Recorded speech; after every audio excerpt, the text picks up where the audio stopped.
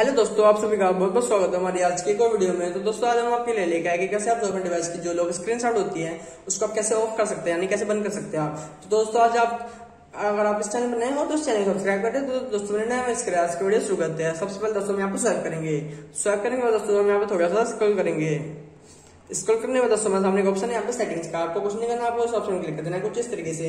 इसके बाद दोस्तों, हम यहाँ थोड़ा सा स्क्रॉल करेंगे। स्क्रॉल करने बाद दोस्तों सामने का ऑप्शन यहाँ पे साउंड का। आपको क्लिक कर देना है। क्लिक करने के बाद दोस्तों, आपके सामने कुछ इस तरीके का इंटरफेस हो जाएगा। इसके बाद दोस्तों यहाँ थोड़ा सा स्क्रॉल करेंगे।